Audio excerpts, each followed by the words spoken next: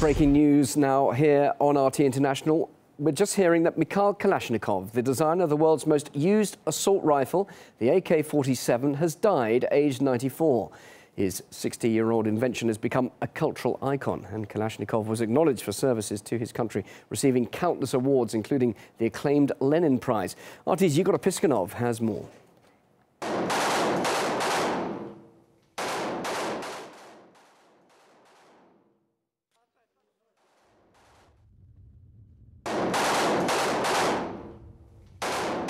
The man behind a weapon that many say changed the face of combat. Produced in over a dozen states and officially used by 50 armies, it's the most popular and reliable small arm in the world. No competition. AK-47, short for Avtomat Kalashnikov model 1947, the year it was designed. But the inspiration came a few years earlier, during the war against Nazi Germany. This is when 21-year-old Red Army tank commander Mikhail Kalashnikov was wounded in battle and was recovering in hospital, dreaming of designing a weapon that would help throw the invaders out. And so he did. His automatic rifle combined the best features of machine and submachine guns, killing power, lightweight, durability, and simplicity. Often during the Vietnam War, American soldiers took AKs from dead Vietnamese troops, preferring Kalashnikovs to their own sophisticated but unreliable M16s.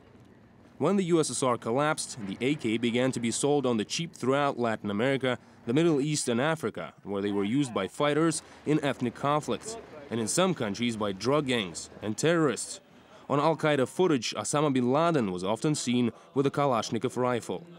Nowadays, the gun is believed to be responsible for a quarter of a million deaths every year. This always upset Mikhail Kalashnikov, who called for tougher UN measures to halt the illicit distribution of small arms.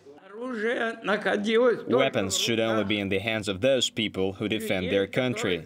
That is to defend, not to attack. I designed the rifle not for international conflicts, but to protect the borders of my homeland. Kalashnikov designed different models of the gun, but what unites them all is their simplicity and reliability. The assault rifle even became a cultural icon. It's depicted on the flag and coat of arms of several countries and organizations. Mikhail Kalashnikov had many honors, including the highest state award, the Golden Star of the Hero of Russia. But despite such astonishing fame and respect, unbelievably, he didn't make a penny from the sale of his weapons. The only way he could profit from his invention was by allowing to use his name to promote various brands, watches, MP3 players, and even vodka. But without a doubt, his legacy is the AK-47. Its production continues to this day, and the gun's reputation as the world's top infantry weapon remains unchallenged.